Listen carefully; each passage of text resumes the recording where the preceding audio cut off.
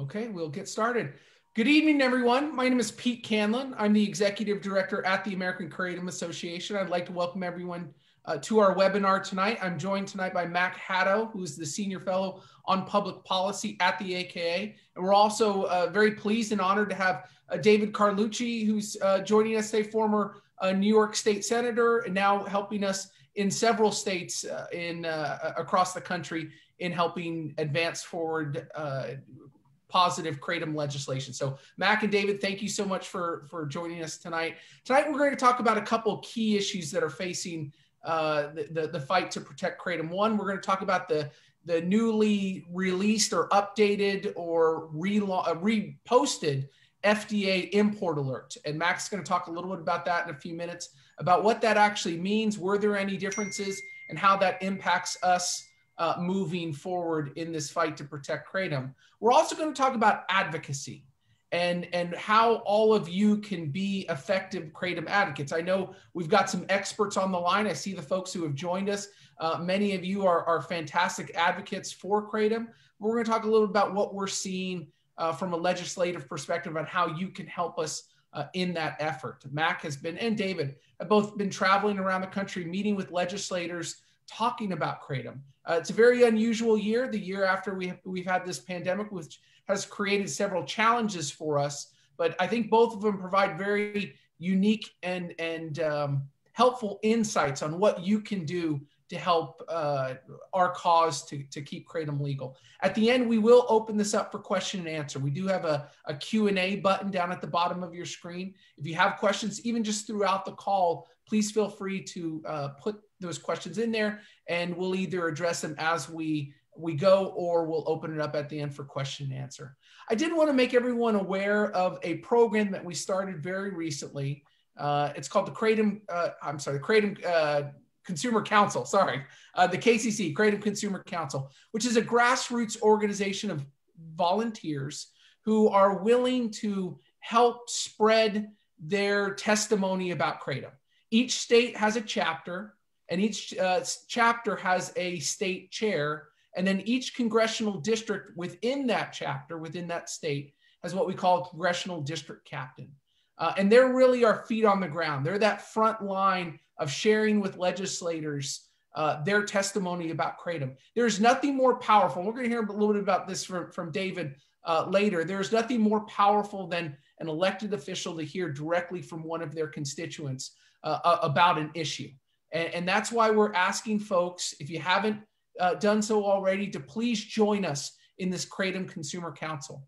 Uh, be that representative, be that person on the ground that can reach out to uh, their elected officials. And Matt's going to talk a little bit more about this later about how you can get more involved. So if you are interested in joining this, uh, we have over 490 members currently have signed up, but we need more. If you are interested in joining, please send me an email uh, my email address is pete.candland at americankratom.org. Uh, and when we send out a copy of this recording, I'll include that email address uh, in that email. But we, we are just very grateful for all the support you all have given us. We could not do this without your help. Uh, this organization runs 100% off the donation uh, donations of folks like you, and we're very, very appreciative and work hard every day to honor those donations that you give us. So without any further delay, Mac, I'm going to turn it over to you and you can uh, bring us up to speed on what we've seen with this uh, FDA, uh, FDA import alert. Mac. Uh, thanks, Pete. And, and I'm very grateful to uh, be sharing the, this panel tonight with uh, former Senator Carlucci. He's a friend of the Kratom community. he is knowledgeable and a great advocate for us and is leading up in some very important states that we have with the Kratom Consumer Protection Act. So David, welcome. And I think you'll find that the advocacy community is going to be very grateful for your engagement with us uh, today. Uh, and I want to talk about the import alert because that's the hot issue.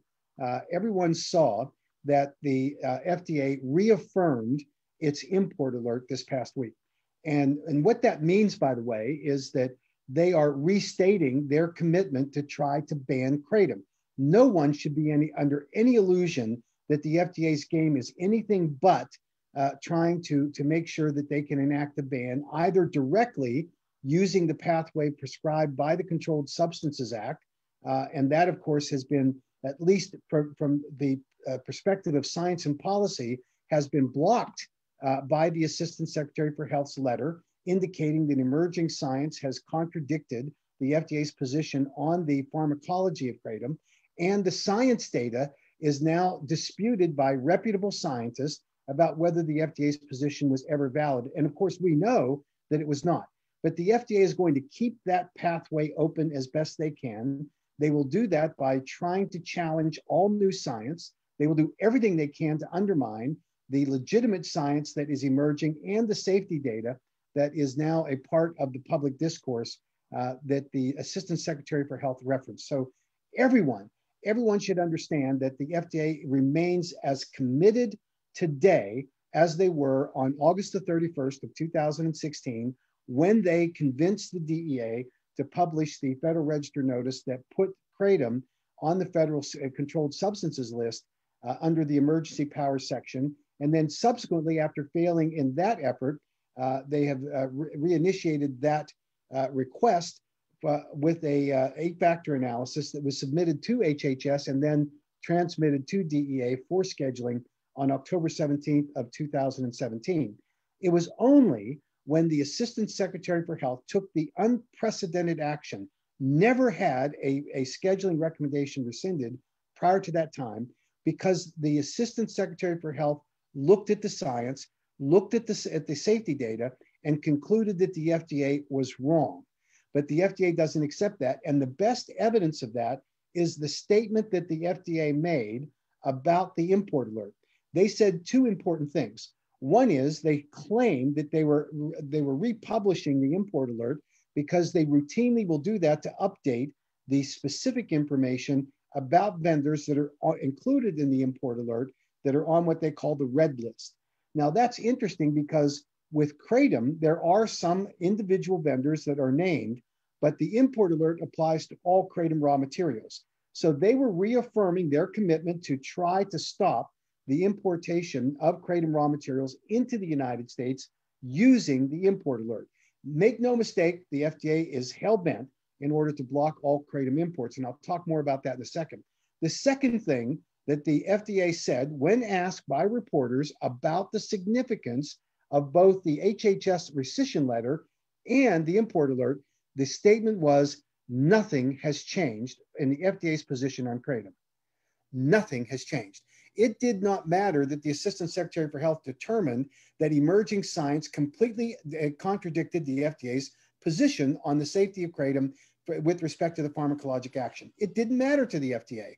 We knew that it didn't matter because the day after that letter was sent to the DEA, withdrawing officially the uh, the scheduling recommendation, the FDA insisted that it, that letter not be made public. And the day after, then Commissioner Scott Gottlieb went on a Twitter rant about Kratom, demonizing it once again, even though he knew that an independent review of the data that was used to support the original recommendation had been found to be insufficient by an independent trier of fact. The FDA doesn't care. So they're right. Nothing has changed in their position about Kratom. So remember what that means. Uh, I, I remember the days of 2016 when we fought this battle. And it was a united effort. There was a community that was resolute in what they needed to get done to convince the, the, uh, the DEA that this was not a worthy effort, that the FDA was wrong on the science, wrong on the policy. And we, united and fought that battle and we won. Uh, today, there are many in our community that believe we have won the battle. And if, if, if I could tell you we haven't, but listen to the FDA, nothing has changed about their position, which interpreted means they are going to continue to fight to, to uh, ban kratom from sales. Here's how they do it.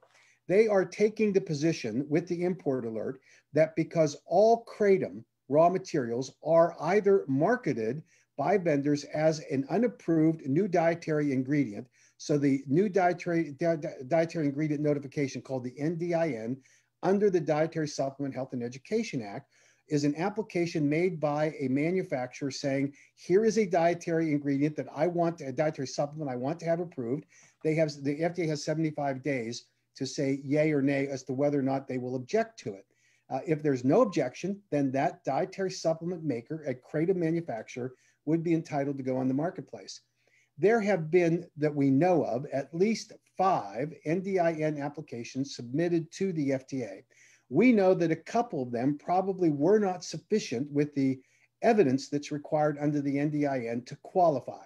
But we know, based on representations of experienced law firms and scientists who work to support those applications, that they were fully approvable by any standard that is applied by the FDA. And what the FDA has done is said, we, we object to, and then they list the deficiencies in the applications.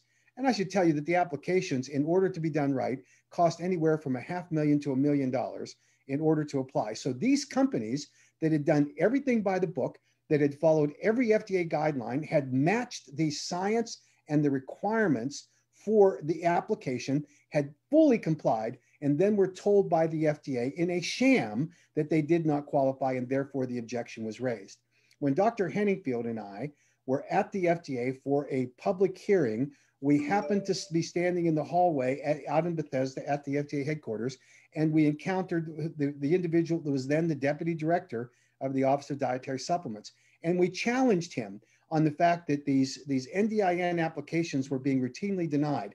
And his answer to us was they will continue to be denied until my boss, meaning at that time Dr. Scott Gottlieb, were to greenlight them because they weren't going to evaluate the science. They weren't going to evaluate the merit of the application. They weren't going to look at the potential benefits that, that consumers would have of having access to a safe dietary supplement product formulated for which the structure function claims can be made once you get a dietary supplement through the regulatory process provided for under the DSHEA Act.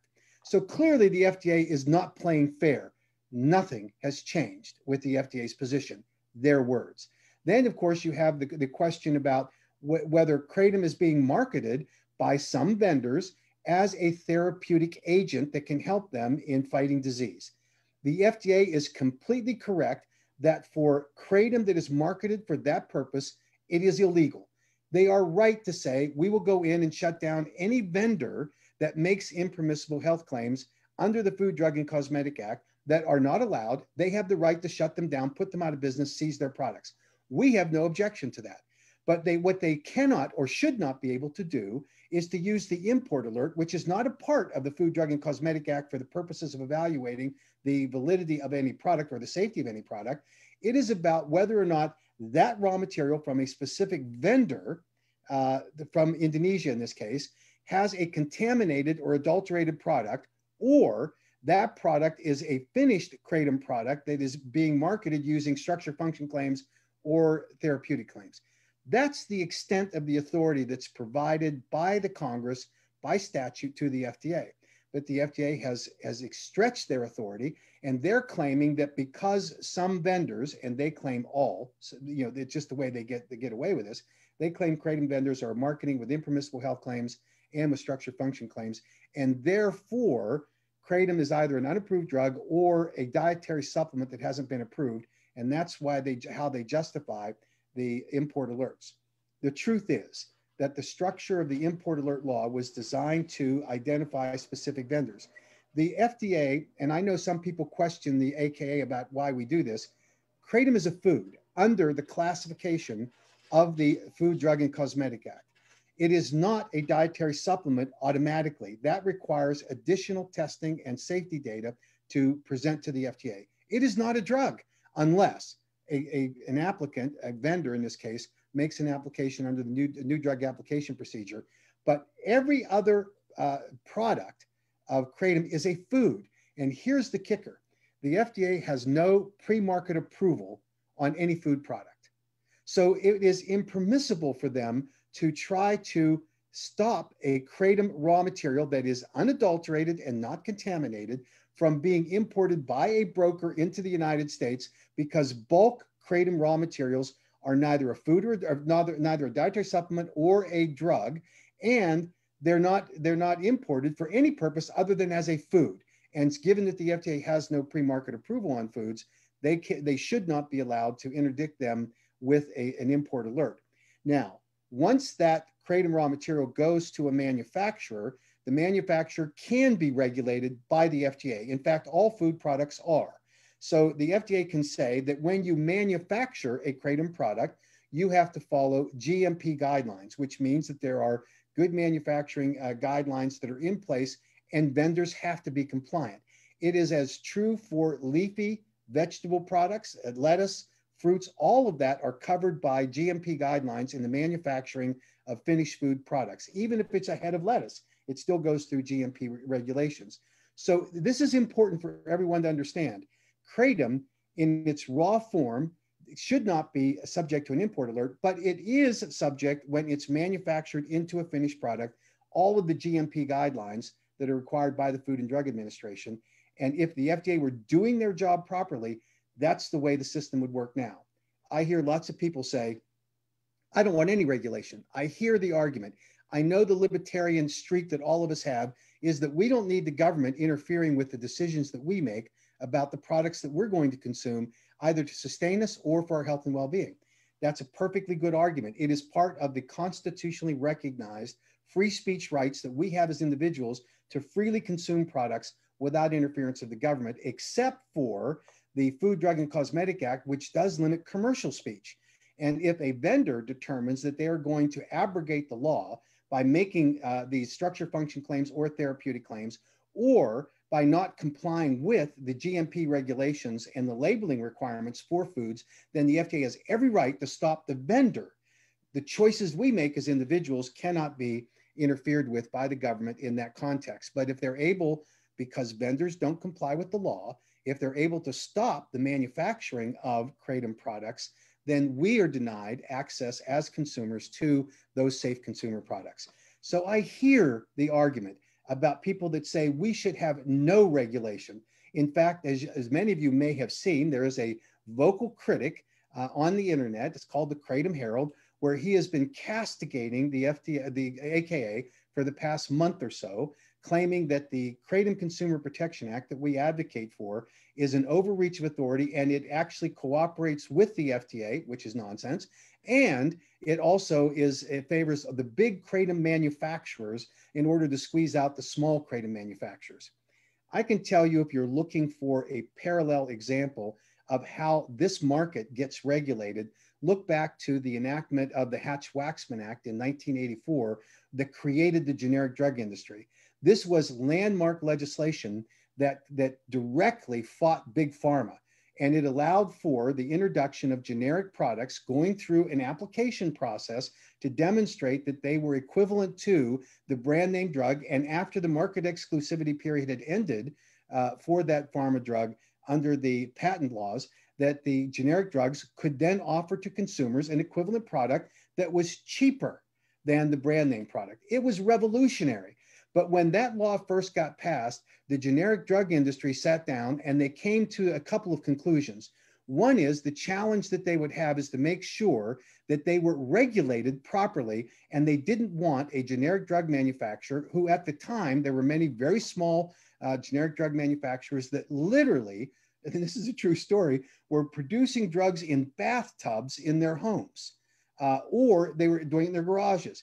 Now, does that ring true for some of our Kratom vendors? We know that there are some small vendors who are producing Kratom products in their homes in, in, as a replacement for, a substitute for a manufacturing facility.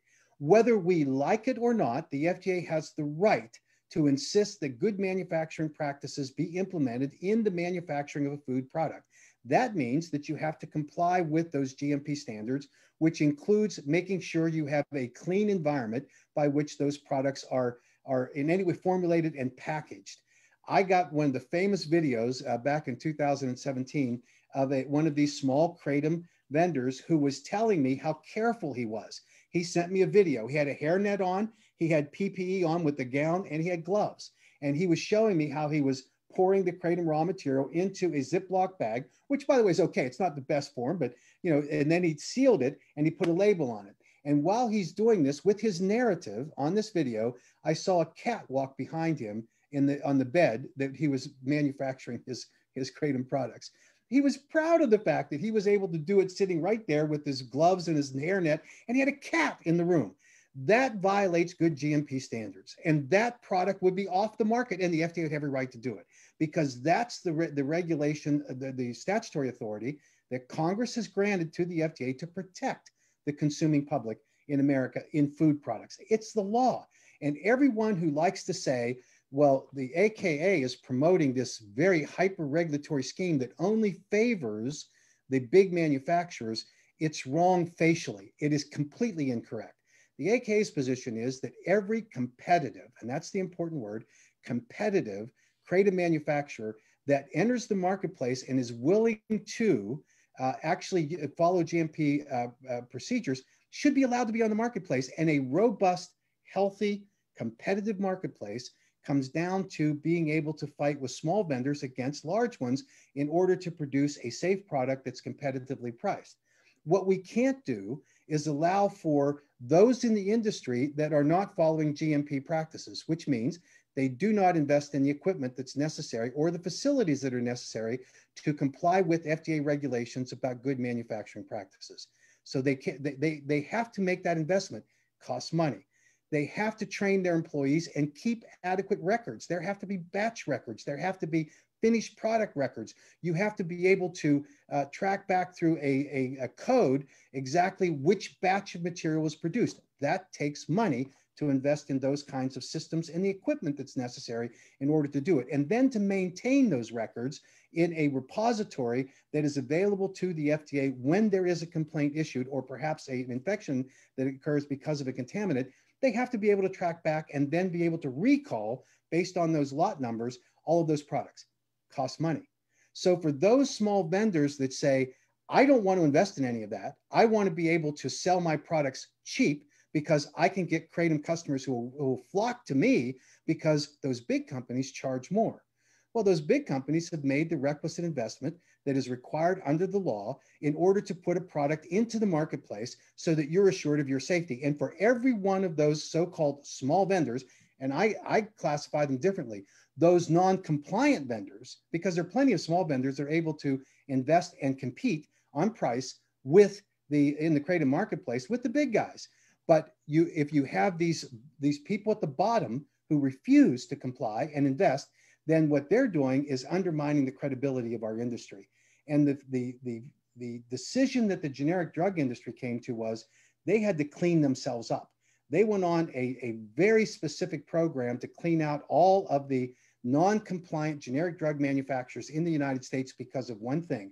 They feared that there will be people die as a result of poor, poorly formulated or contaminated generic drug products that would enter the, the, uh, the marketplace and that would kill their industry. And by the way, it would have. Same is true today. We have, we have a target on our backs that the FDA has placed on us claiming that kratom itself kills people. If they can trace back deaths that are related to poorly formulated or contaminated products, then we do ourselves in. And so to those people that are making the argument specifically to the Kratom Herald. Anyone who makes this nonsensical argument doesn't have the best interest of the Kratom consumer in mind.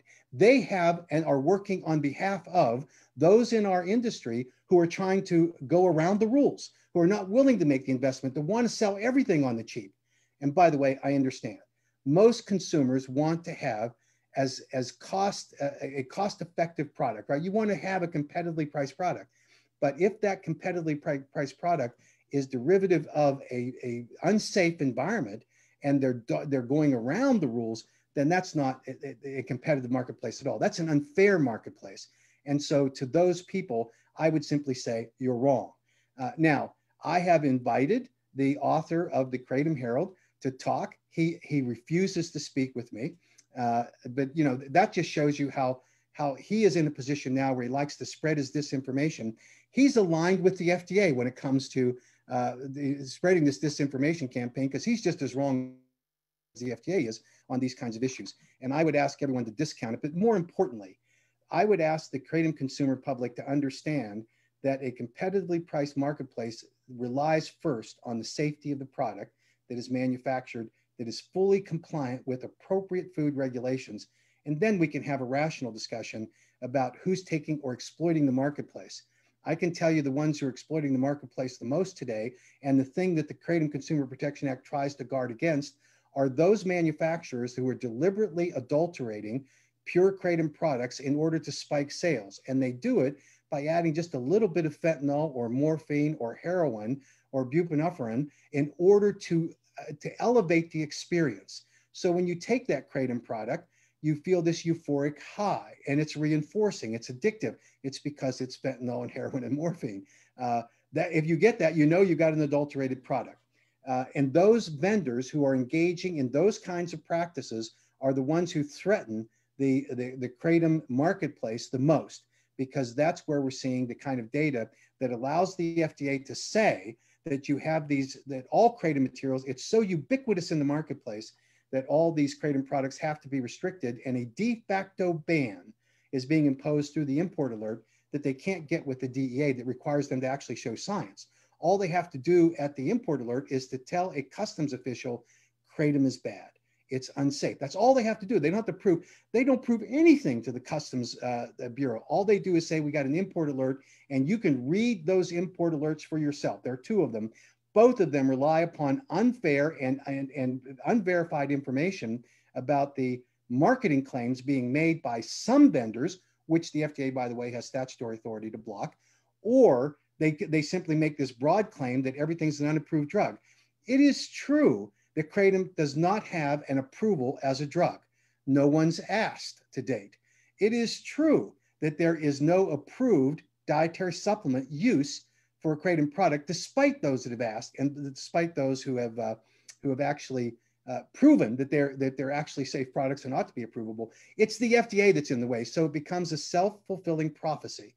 And to the extent that we buy into their game, where we get sucked into it and we allow for these bottom feeders who are not compliant in the in the kratom industry, we do ourselves in. So I encourage everyone to look for a couple of things we encourage all of the Kratom consumers, and the number one hit we get on our website is where can I buy a safe Kratom product? Start with those vendors who have voluntarily agreed to submit to the AKA GMP program, that, uh, that they, they get an independent third party audit done, verifying their compliance with the standards that are required by the FDA for the manufacturing of their products and that they comply with labeling.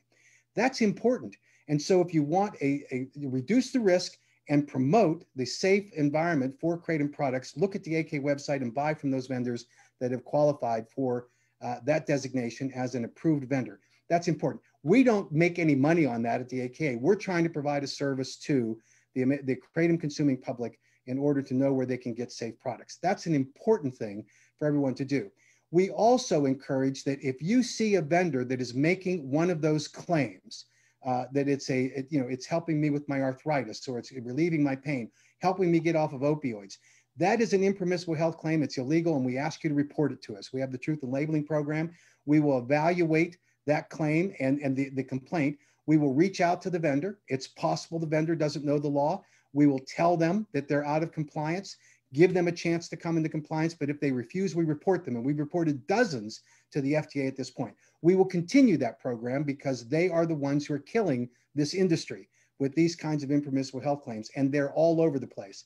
By the way, and this is an important point, they, they don't even have to be the one to make the claim if the claim is made by a commenter, a Kratom consumer, who goes onto their website over which that vendor has complete control of the content and says, This has helped my fibromyalgia. This has helped me with my arthritis. This has helped reduce anxiety. This has helped me with my chronic pain. Those are all impermissible health claims that are banned by the FDA, by the Food, Drug, and Cosmetic Act, which the FDA is uh, entitled to enforce. And the fact that that vendor has control over the website or the blog post where those comments are made puts them in violation. That's the law. And that's true not just for Kratom, that's true for every product for which there is a therapeutic claim made. So the reality that we have is to be responsible, good citizens, both from the vendor community and with the kratom consuming public. We have to be able to be willing to follow the law and to recognize and buy from those vendors who are willing to comply with it. And I make no apology for the strong position that we've taken at the AKA to weed out the industry from these bad actors because there's only one outcome we're interested in at the AKA to maintain legal access by consumers to safe and unadulterated kratom products. That's the bottom line. And we can argue all day long about whether or not the FDA should have this authority or not. That's an issue that we take up with the Congress. We can argue all, all day long about whether the FDA enforces the law appropriately or whether they single out kratom vendors versus CBD vendors, for example. And that's again an issue that we can discuss with the Congress. But right now, we need to protect our industry. We need to protect consumers, and we're going to do it. So the import alert is ground zero for us right now, where the FDA is trying to implement a de facto ban on kratom by stopping all kratom imports into the United States. It has tremendous, far reaching impacts. It is true that today, the uh, Indonesian supply chain of kratom is improving. So we're eliminating many of the very weaknesses and vulnerabilities that have existed in the kratom supply chain up to now because we're seeing dramatic improvements over in Indonesia where we're actually now getting to the point we can trace the kratom material back to a farm. That's important for supply chain verification that the FDA ultimately is going to require us to have in order to get off of the import alert, uh, even if we take the broad stroke of it. But all food products that are regulated by the Food and Drug Administration today have to be traceable back to the farm or the location source so that if there is an outbreak of salmonella or E. coli, they can go back and find it and stop it from being shipped and contaminating the raw material uh, containers that are being shipped into the United States. This is an important fact that we have to deal with. Also, the, uh, the, the processing that is being done, Indonesia is improving. There's some things that are hard to do. When you're out in a remote region in Indonesia, and those who have visited will know this, there is no uh, clean water that's available to wash the leaves before they lay them out to dry. So we get potentially contaminated water. We know that there are some areas of Indonesia in the growing regions that are volcanic, volcanic soils that will always produce a high metal, uh, heavy metal content in the kratom product. When it gets too high, we need to identify and block those areas from producing kratom products that ultimately end up in human consumption. We know that there have been problems where the farmers will not use sanitary uh, procedures and hygiene methods in order to dry the kratom leaves. And then when they're ground into powder, often they were using World War II era coffee grinding machines where literally the metal filings of the grinding gears were being dropped into the kratom product, which accounts for some of the lead and nickel content that the FDA determined was in excess of the standards allowed for food products. So we've just we've seen dramatic improvements there. I think there's a willingness by the Indonesian uh, community, uh, the growing community, to fix these things. I've seen fabulous improvements. I just got videos from each one of the three major growing groups showing the kinds of equipment they're using food grade uh, stainless steel grinding machines.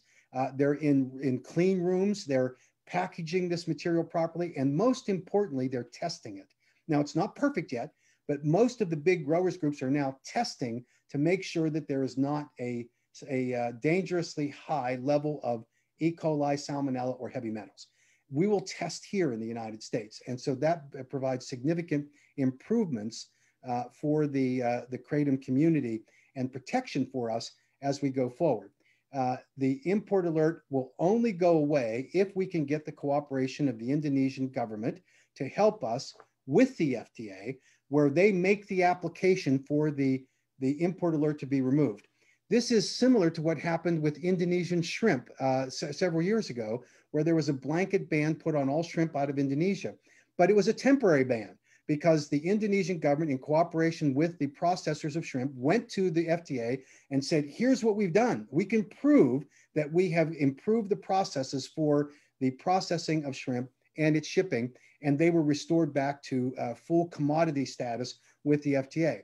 We're going to need the Indonesian government to cooperate with us. And we know over in Indonesia, there is a war that's going on over Kratom, just like there is here between the FDA and the DEA and HHS and NIDA.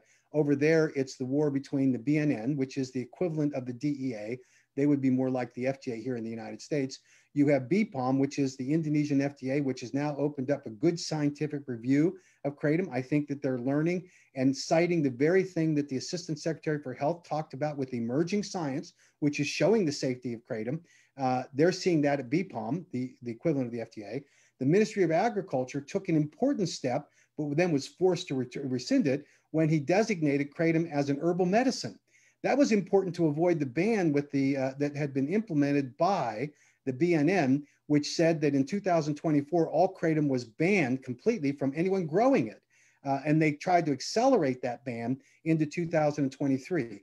This remains a battle that's going on right now. And the Ministry of Agriculture is trying to help, but they're being beaten silly by the BNN. Uh, we worked with the Ministry of Trade and the Ministry of Foreign Affairs over there and the Ministry of Finance, and we're trying to work out a solution. We expect that when the COVID uh, the, the, the, restrictions are lifted, that our delegation will go and visit with the BNN and the Ministry of Agriculture there, hopefully in late May or early June. And we're going to be able to start this process of negotiating with the Indonesian ministries to go to the FDA and be the applicant for the removal. And even if we have to do it on a test period for a couple of years to demonstrate that we can meet all of the supply chain requirements to maintain the safety and integrity of the kratom raw material products that come into the United States. So that's our goal. Uh, be, until then, we're going to have to continue to fight this battle. We're going to have to, to fight on the legal case, the policy case, and we're going to have to resist what the FDA is trying to do to ban all kratom coming into the United States. There's lots of hope for us in this battle because despite that battle that's going on over in Indonesia, uh, there is a recognition of a couple of important things in the Indonesian government. First, we've seen excellent reports from the Office of the President, where the President himself, in a visit down to the growing region, made very positive statements about the importance of kratom to the economic system in the growing regions, which are largely low income families, and how important it was for kratom to sustain that. Now, the BNN tried to sweep in and say, okay, we'll replace it with sewing machines and build a textile industry. That didn't work. Uh, they tried it and it, and failed because the, the families weren't interested in doing that. They've, for generations, have been harvesting kratom and they want to continue to do that. Uh, I was on a call that was organized by the US Chamber of Commerce welcoming the incoming ambassador designate to the United States from Indonesia, and he will be here probably in June. And uh, I had the opportunity to ask the last question of this uh, of this seminar that was the, the Zoom meeting that was held. And by the way, there were there were all the largest companies in the world, Boeing, Prudential. I mean, there were there were a lot of heavy hitters. And and through the good work of uh, Wayne Forrest, who runs the American Indonesian Chamber of Commerce, who's a real friend of the Kratom community, he arranged for us to have the opportunity to ask the question. And my question was simple. I asked the uh, ambassador designate if he would help us in working with the FDA to, uh, to stop this war against Indonesian kratom. And his answer astounded me in the depth of knowledge that he had, his complete affirmation that he wanted to work with the American Kratom Association because he recognized the significant economic impact that a ban would have on these uh, low income families in the growing regions in Indonesia. It was a fabulous conversation. He made a commitment that we would be able to meet when he arrives here in June in the United States. We're looking forward to that meeting because it will be a positive step in order to further isolate the FDA in their battle against kratom, in their war against kratom. I shouldn't call it a battle. Uh, so we are today in a position where we're going to fight on the import alert. Uh, we are going to do everything we can in order to promote good public policy. Part of that is going to be to reassure the FDA that we're committed to self regulation. We're committed to only the production of safe products uh, both that meet the supply chain requirements and the manufacturing requirements that meet GMP standards, and that those products that are completely safe, uncontaminated, and non adulterated will be available to consumers in the marketplace. Until we get to that point, we will continue to fight in the states to get the Kratom Consumer Protection Act passed, despite the criticism from uh, groups like the Kratom Herald, which are wrong. And I emphasize to anyone that's listening to that nonsense, tell them they're wrong because they are. Uh, and, and by the way, uh, the other the enemy that we have, other than among ourselves with groups like this, is the, the FDA, who is aggressively out, even today, spreading their disinformation campaign in the states. We're active now in almost 30 states with the Kratom Consumer Protection Act. In every one of those states, I hear it time and time again. I just heard from the FDA today. They are out spreading their disinformation they have the bully pulpit with many of these legislators who don't even know what kratom is.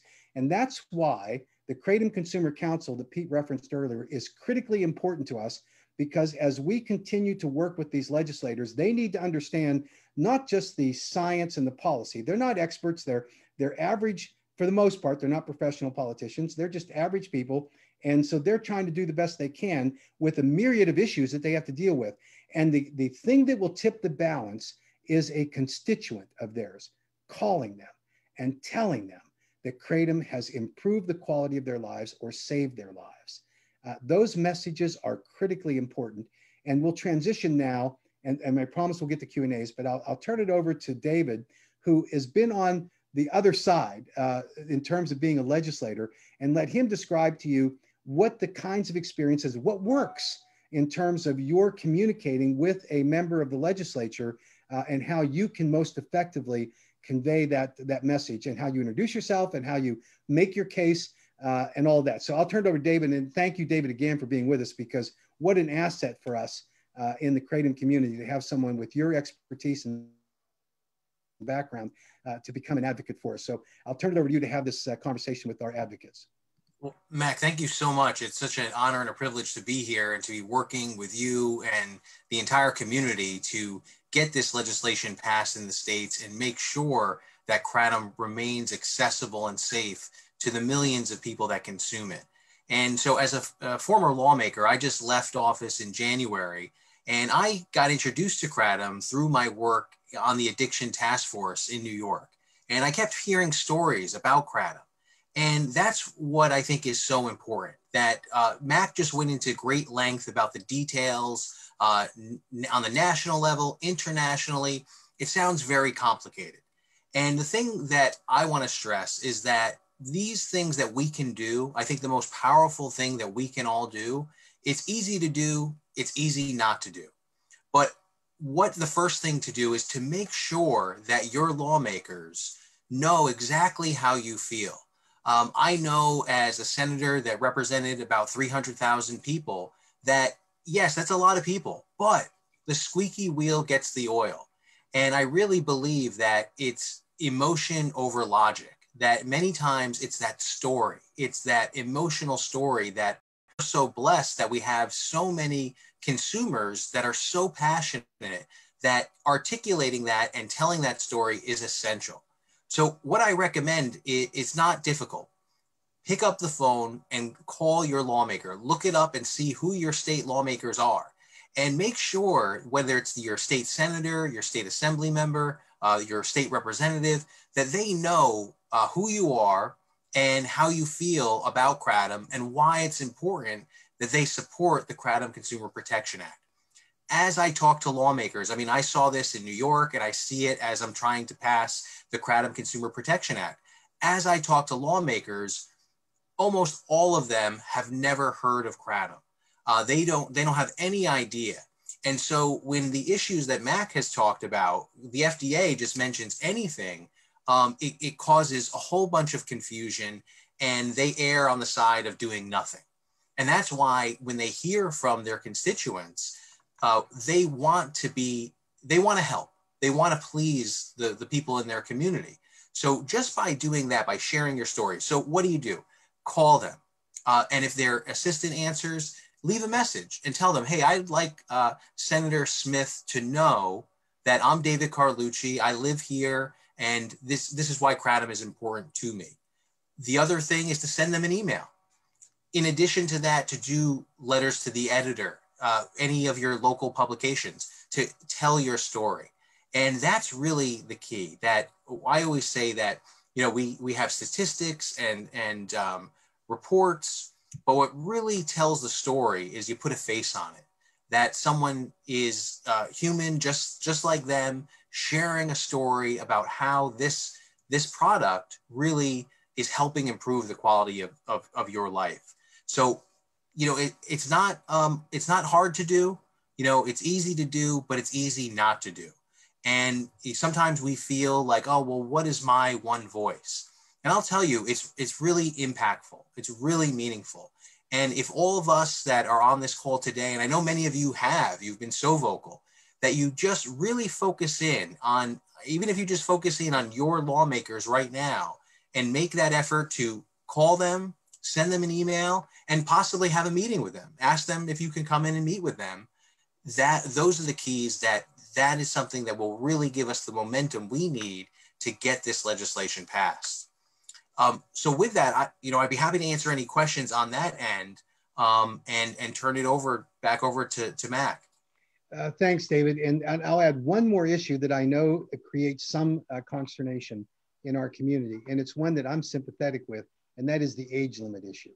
In a perfect world, there would be no age limit placed on the purchase of a, or acquisition of a Kratom product because there is no evidence, none, of any harm to a, a child or to a minor from the consumption of Kratom.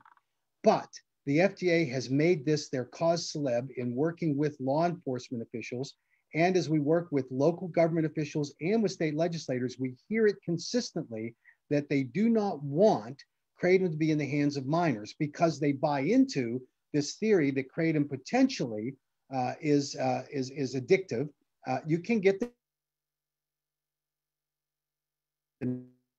deny that. Uh, if you have an addictive personality, you can become addicted to it. The real issue is what's the solution after that? And we know that the, the withdrawal uh, exercise with kratom is far less a problem than it is for an opioid or a dangerous drug. So uh, there's, a, there's a very robust discussion around that, but the FDA has targeted these law enforcement officials. The Tennessee Bureau of Investigations official and I got into, it would have been a fist fight, except we're on Zoom. And he was arguing that we were trying to, to uh, get all the kids addicted. And I made the argument to him that you know, you're absolutely wrong because there's no data to support your position.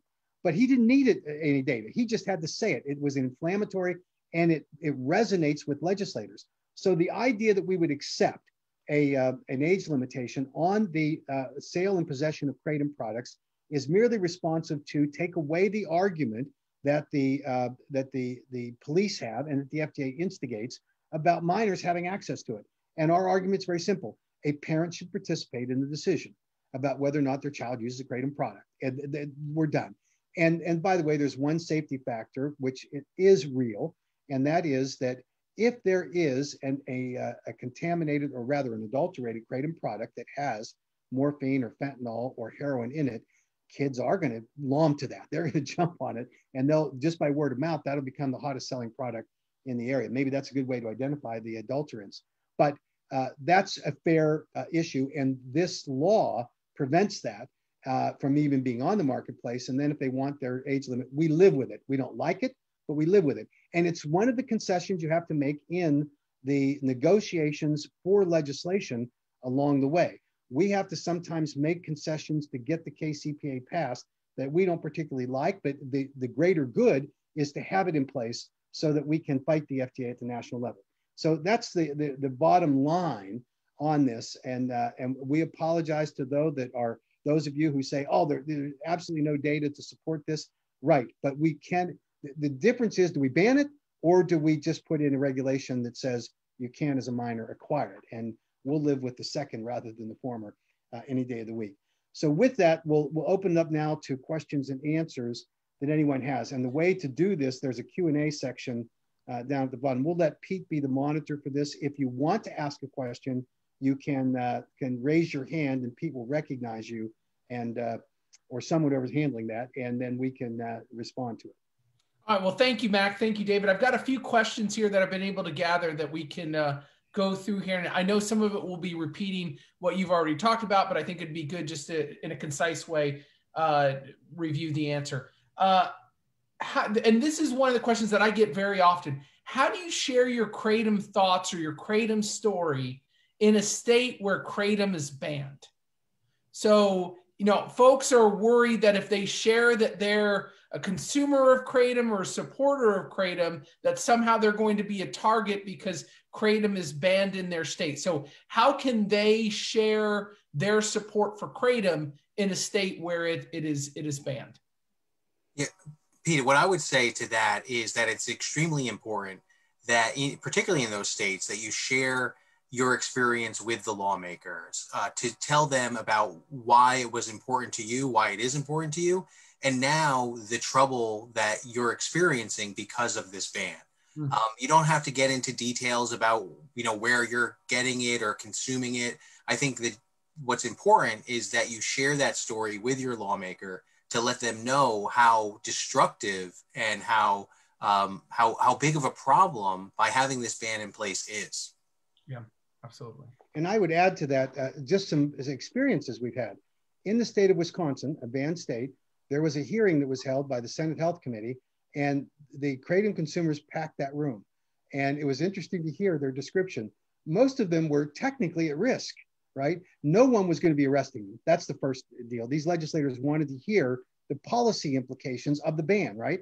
Uh, and it was, but it still took some courage for people to stand up there and testify. And it was wonderful to hear. And in the end, unanimous vote to open up a bill file to uh, for the the KCPA to replace the ban. And COVID shut us down, but we're back at it this year. So that's in a state that's banned. Now there's other states where you would be you'd be dumb to get up there and say much publicly. Alabama's an example. That's one that we're going to. It's a long-term project for us. We're going to get get it out of the way. We hope. There's strict enforcement in Arkansas, but I've been on the phone with the Speaker of the House and the Senate leadership over the last couple of days in Arkansas, and there's a real interest in unwinding that ban, basically because the only reason it was implemented in the first place is because a doctor in Arkansas reported to the Department of Health that the FDA had said that this was a dangerous opioid. And it's on, on the record. It's a part of the record for which they submitted the uh, ban bill that was approved by the, the Arkansas legislature. So there's one that, while it's very tough enforcement, uh, the policy, I think, is going to be unwound here at the legislative level. But as David said, there's nothing wrong with you picking up the phone and explaining your personal experience with that legislator or a member of their staff in order to get your voice heard. And I think that's the key to do it. And uh, in Rhode Island, we see the same kind of testimony. We saw the testimony in Vermont. Uh, that's another banned state. We're making real progress in these states by educating these legislators and at some point, there'll be a reaction to this overregulation. And it's already been proven by the Assistant Secretary for Health. They can't ban it uh, federally, so they're coming to the states and they're and they're giving disinformation to do it. So we're going to win this battle in the end.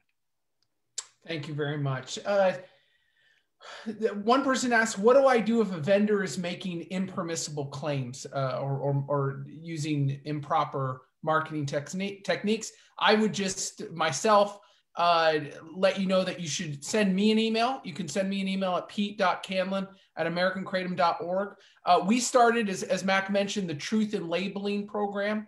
And the Truth in Labeling program is really meant to try to the first step educate vendors on what they should and shouldn't be doing uh, just just today actually uh, I received a response back from one of the vendors that, that I had reached out to, letting them know about certain impermissible marketing techniques that they were doing on their website.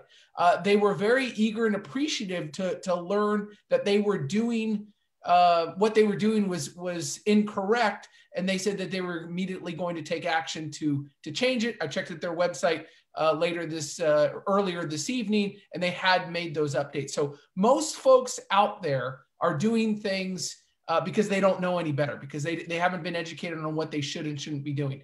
Some folks are out there for other reasons. Some folks are out there for shortcuts to try and um, sell more of their products. Some folks don't care about the Kratom consumer. And that's what we're trying to do. That's how we're trying to clean up the marketplace. Uh, if a vendor refuses to make those changes, uh, then they are referred to the FDA.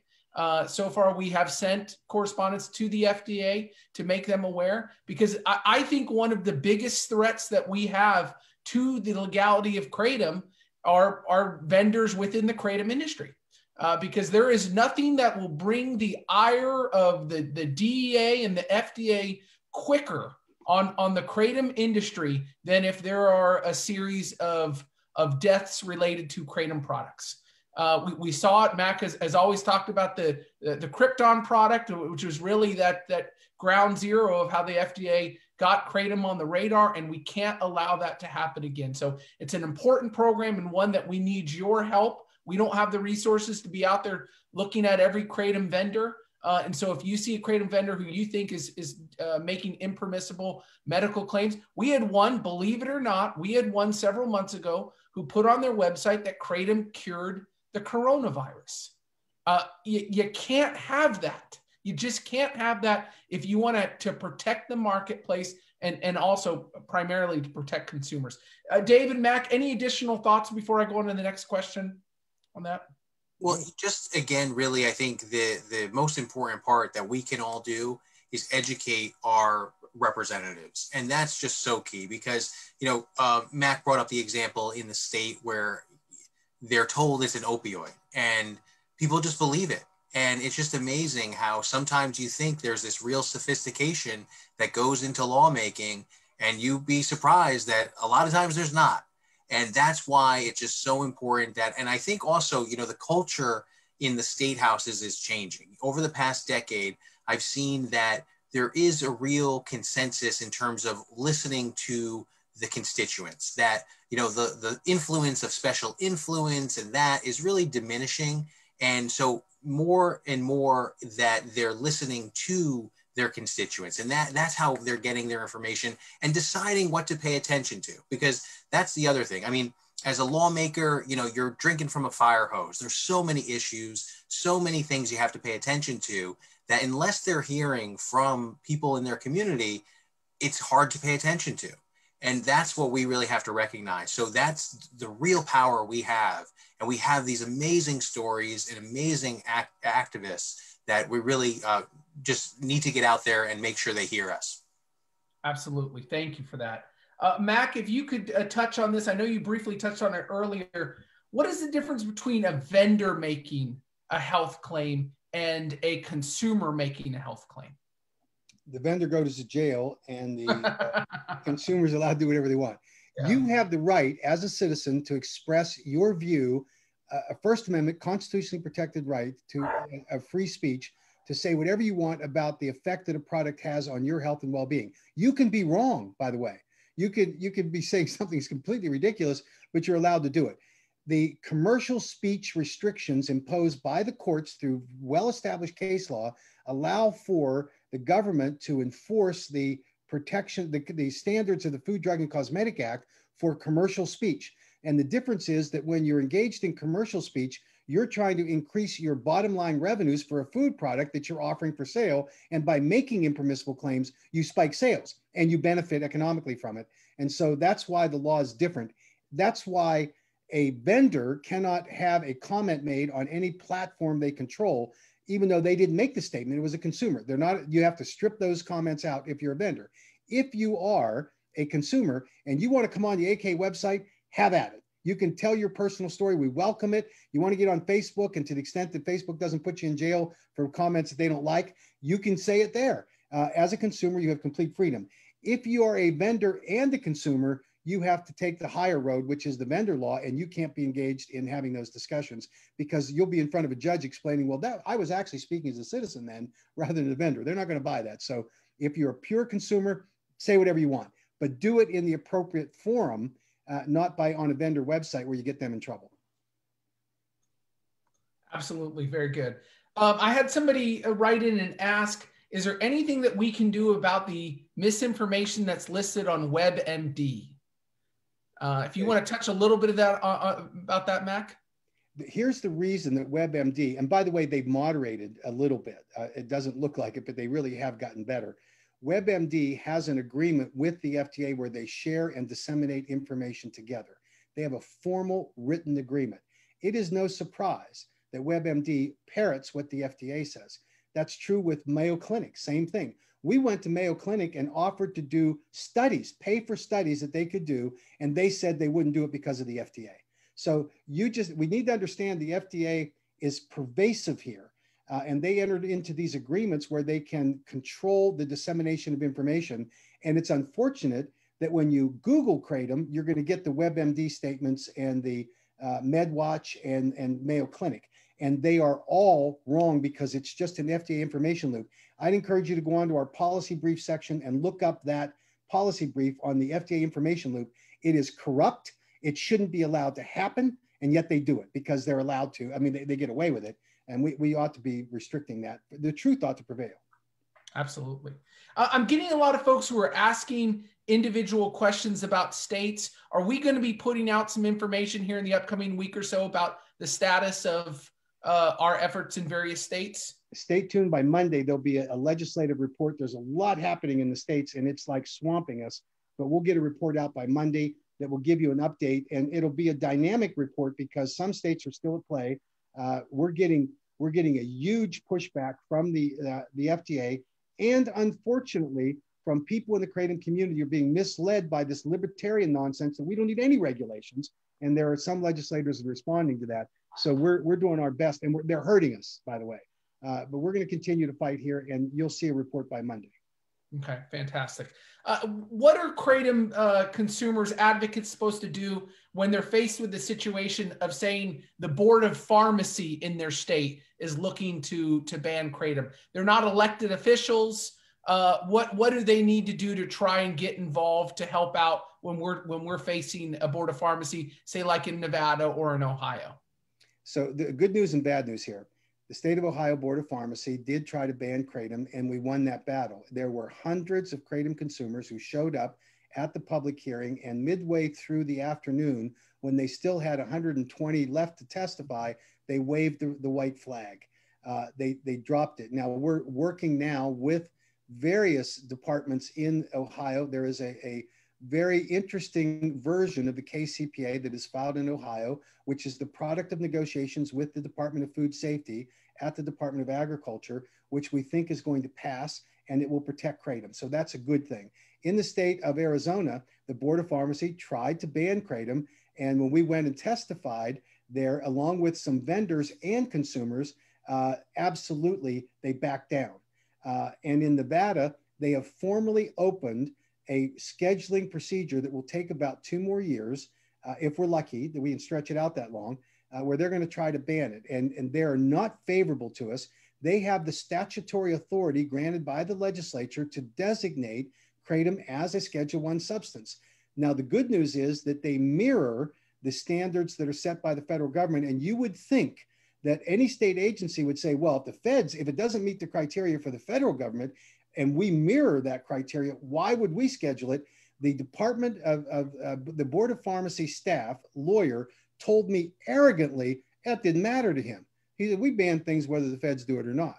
So we have a battle with the Board of Pharmacy in uh, the state of, state of Nevada because they are appointed people, but they have the statutory mandate and authority to schedule substances. So that's going to be a real battle for us going forward. We expect that the FDA will try to use other states to do the Board of Pharmacy uh, to do the same thing. So we're going to be resolute in our efforts to protect kratom at that level. Absolutely. Uh, one person asked, and, and obviously this the focus of this uh, time of year is state legislators. Uh, but they asked, what's the status of the federal KCPA, and what are we thinking about the timeline once we get past all of the state legislatures? Uh, what's the timeline on that? The change in administrations upset our schedule for the filing of the federal KCPA. Uh, our champions in the Congress believe that the first thing we need to do is have a discussion with the new FDA nominee about Kratom to determine whether or not that individual is willing to go reset the agency's position on Kratom, which will dictate how we would frame the Kratom Consumer Protection Act at the federal level. Uh, and then, of course, uh, other events have occurred when we learned about the withdrawal of the, of the uh, HHS recommendation for scheduling, that eliminated the provision that we had in the Federal Trade and Consumer Protection Act. So we're reframing the, the language and we are waiting for the FDA commissioner to have to give him a fair chance, that person a fair chance, to have a discussion about whether they're willing to go out there and just tell the policy people at the FDA who hate Kratom. And by the way, it wasn't, I, I know we like to pick on Scott Gottlieb and he deserves it. Uh, Scott Gottlieb inherited a policy arm at the FDA that has had a long-standing hatred of kratom that goes back clear to the early 90s when they hated dietary supplements and all herbal products and tried to get them banned at the time anyway. And so this is a question of freedom. Uh, the same argument that occurred in the Dietary Supplement Health and Education Act was about the freedom of consumers to make informed choices about products they use for their health and well-being. Today, more than 80% of the American public uses vitamins and dietary supplements to maintain their health and well being. If the FDA had their choice, they would ban all of those products, force everything into the new drug application process. We know why that is because it's all about the money. And so we need at this point to fight as hard as we can. And we're going to get that federal KCPA on the books if the new FDA commissioner is unwilling to bust up that cabal out there at the FDA that has led this battle against kratom for decades. Absolutely. Uh, David, uh, I know you're working in, in Pennsylvania, you're working in Connecticut, you're working in New Jersey, you're working all over the place. What, what do you, what's one of the biggest challenges that you face when you go in and talk to legislators about Kratom? Is it that they don't know what it is? Is it uh, what what are you experiencing when going in and talking to them? It's really simple. Um, it's really that lack of education. So so we're coming in and literally I would tell you it's like 99% of the time they'll tell me that they never heard of Kratom until we reached out to them and, and scheduled the meeting.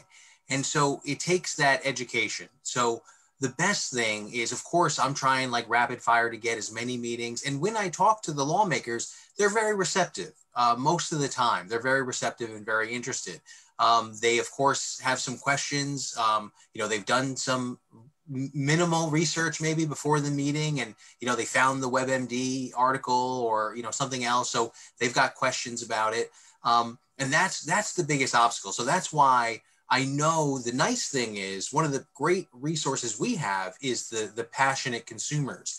And that's why that will speak volumes that yes, we can send them reports and white papers, and that helps. But what really helps is that personal uh, conversation, that story being shared with them. So that's why we're trying to activate and um, get as many people to email lawmakers throughout you know the states that I'm working in and, and all the states because that really helps us. That as people know about it, they're as lawmakers are educated about it, it makes it so much easier.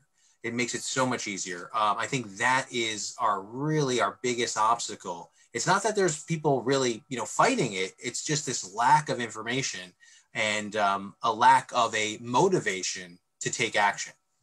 Yeah, absolutely. Well, it, I, I, would add there oh, are yeah, things that every consumer advocate should have ready to send to their legislators. The first is the HHS rescission letter. That letter, which was signed on August 16th of 2018, kept secret by the FDA by using the FOIA exemption for regulatory review until about six weeks ago.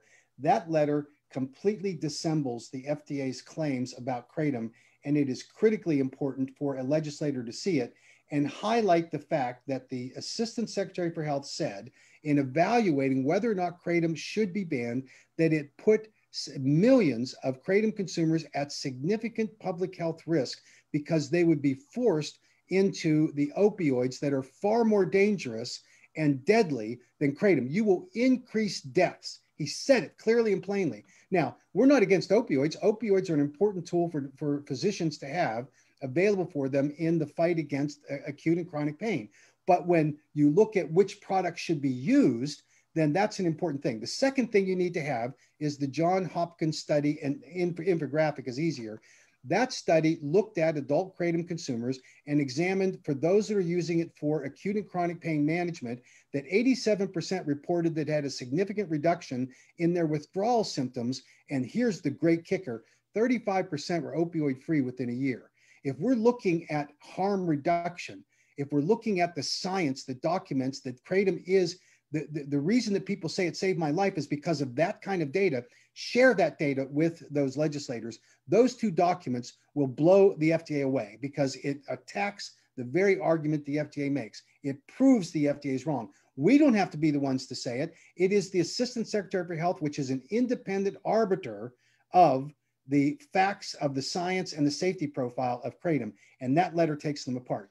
And think about this if you are the, the uh, CEO of a pharma company that, that produces pain management products, and you saw the Johns Hopkins study that said that kratom is safer than the products that you are marketing, that people are able to manage their acute and chronic pain without the debilitating side effects of those medications, without putting themselves at risk, what would you think as the pharma executive? You'd say, My God, I'm going to lose my market to this plant. And so, is it any wonder why they have recruited all of their allies at the FDA in order to fight against this miracle plant? We just have to understand what we're up against and continue to diligently fight against it. And legislators get this, by the way. They understand there's an economic incentive for pharma to try to block any kind of product that would compete against them, particularly if it doesn't cost consumers and it doesn't have to go through the FDA's uh, new drug application process, which, by the way, the FDA makes money on too. Uh, under the, uh, the current regimen for evaluation of new drug applications, pharma requires that a new drug applicant pay them $3.5 billion upfront uh, in order to get it evaluated. I'm sorry, it's 3.5 million, and then they have to pay the total cost of it over a 10 year period is 3.5 to 5 billion dollars. There's a lot of money. More than 65% of the revenue, uh, the, the budgets of FDA's CDER division, which is the Center for Drug Evaluation and Research, comes from user fees that are paid by applicants. And before the PDUFA Act passed, the Prescription, Prescription Drug User Fee Act, it was it was about uh, well zero, and then it went to nine percent within two years, and now it's up over sixty-five percent. That tells you where the misalignment of the financial incentives that, that regard good public health policy with respect to kratom, we're being undermined by the money. And that's something that we just simply have to, uh, to focus on. Yeah, absolutely. And, and and Mac on this on this call, Mac has been talking about the letter. He's been talking about other studies. If you haven't been to our website in a while, please go to our website. We update it with the latest information. We have links to all the studies that Mac's referring to. We've got, got linked to the HHS letter. Uh, we, we try to put as much information possible for you to access up on the website. You can also go to the website and join our forum. Uh, our online discussion forum allows you to talk to other Kratom uh, advocates and hear what's going on uh, around the country. Mac, there and, and David, there was a question. I think this may be a good question to start wrapping things up. If there are any final questions, you can uh, go to the Q and A hit that. Or after we end, if you want to contact me, pete.candland at americankratom.org, uh, I'll make sure that we get an answer to your question. But Nate asked, I think this might be a good one to wrap up on. How is the overall outlook on keeping kratom legal in the country looking? More positive or negative than a few years ago? I'll jump in and I'll say that I feel very positive about it. I mean, uh, of course, I'm in the Northeast where we're moving on things like recreational marijuana where you know totally different in terms of taking an illegal substance and making it legal you know we're talking about keeping this legal substance but at least the attitude is one where to ban a product that people are getting value from is just not in the wheelhouse at least in the states where we're um, focused in um, i know that's not true across the country but i feel that there's this narrative that people understand that to just have an outright ban is something that is destructive and doesn't work. So I feel positive about it, especially with the backing of the rescission letter. And hopefully everyone can get access to that and see that. But ultimately, you know, the, the words of wisdom I want to leave you with are very simple. It's that your voice really matters, that your advocacy matters. And that's really what we need on the ground level for you to, it doesn't have to be complicated pick up the phone, call your lawmaker, make sure your lawmaker knows who you are. And that will be the greatest asset that we can have in this battle to keep Kratom accessible. And, and I would echo that. I think that uh, that we see real progress that's being made. And, and you know, back in, in 2016, we were dead in the water and we shoved it to the FDA because they were wrong. And we've proven time and time again that they're wrong. And now we he- we're here at a crossroads in many respects where it comes to what the Kratom community is going to do. And what David just described, where we have this vigilant community that's out there telling their legislators how important it is and how valuable Kratom has been in their lives, that's fabulous. I read something on Reddit today that kind of blew me away. And there aren't many things that surprise me anymore about the Kratom community. But there was a, a woman who related the fact that her husband had gone to the VA hospital in the state of Virginia and that he disclosed to his VA doctor that he was taking kratom to help manage some of the service related injury pain issues that he was suffering from. And the doctor said, I've heard more and more veterans come in and tell me the same thing. I encourage you to continue to use it. Now, that is a fabulous outcome that is derivative of the efforts of the Kratom community to socialize the value of Kratom, when you talk to your doctors, when you talk to your legislators, when you talk to policymakers, and be able to relate the positive experiences that you've had, it is the pathway for success. Dr. Jack Henningfield can lay down the marker about the science that relates to kratom. I can talk about the policy of kratom and talk about the relative merits of one policy over another, as David does, but it is the individual kratom consumer whose experience moves people, moves these legislators, because you can tell them how it's impacted you. I have heard hundreds and hundreds of Kratom consumers tell their heartfelt stories. They matter. I know people get, you know, you're afraid to stand up there and say it. You, you stand in front of that microphone and you're, you know, you see in front of you this array of these legislators, and it's daunting and it's intimidating. And yet, when they tell their story, it, it moves the needle for the Kratom community. So I, I thank every one of you that have the courage to do it, those that continue to support us. Uh, obviously, this is this is a very expensive operation that we are undertaking in about 30 states right now. We're not going to win this year in all of those states, but we are setting the foundation for get winning next year. We have we have I think around eight states that have committed to what they call interim committee hearings already, where it's not going to be about banning kratom. It's going to be about how do we get to the Kratom Consumer Protection Act because the bans are passe. We've beaten every ban, and there have been, been 19 of them since 2016, promoted by the FDA in the states, and we won on every one of those bans. Now, the FDA, as everyone knows, is turning to the local communities, and we're fighting those as best we can. But we're going to win at the state level, continue to win. And when we get uh, within the next two years, we're going to have over 30 states that have passed the Kratom Consumer Protection Act, and then game over for the FDA, uh, unless they come to their senses beforehand, which we hope will happen. So, thanks to everyone for the, the dedicated efforts you make, for your voices, uh, for your for your the, the passion you bring to it, because that's what makes all the difference. And we're grateful for every one of you. Absolutely, thank you very much, Mac. And and I just would just echo um, uh, Mac's sentiment on on I appreciate everyone uh, and the support you give to the American Kratom Association. Uh, folks have been asking, well, are we going to be in this state or we plan on doing commercials?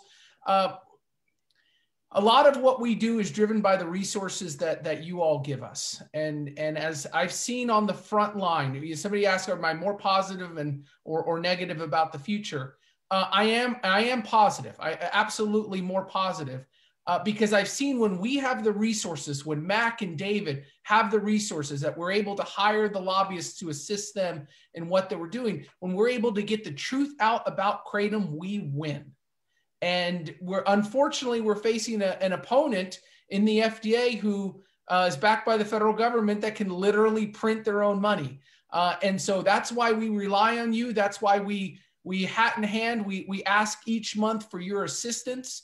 Uh, we don't do that lightly. We understand, especially during this time, that people are, are recovering from a, a brutal hit that that many folks took.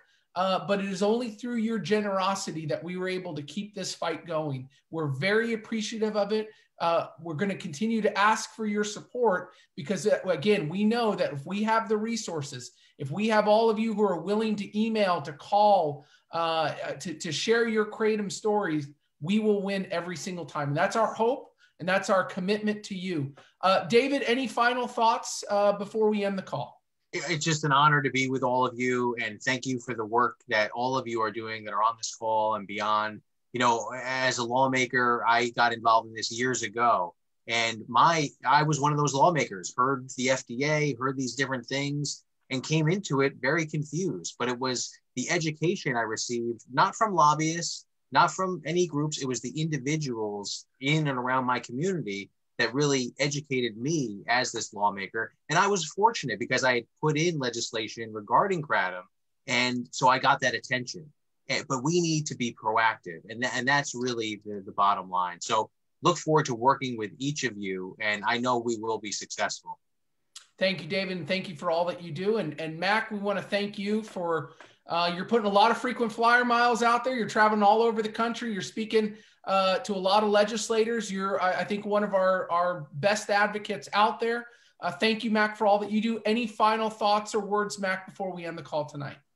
No, I've said enough. Uh, thank you to everybody for all the help. And David, thank you once again for joining this great team. You, you, you're a real asset to us, and we look forward to expanding that relationship. Thank you, Mac. Thank you, David. Thank you, everyone, for being on the call. We have recorded this. We will send out a recording. Please share the recording with others. Please share it on social media. Uh, we we want to do everything we can to get the truth out about Kratom. Thank you, everyone, and have a good evening.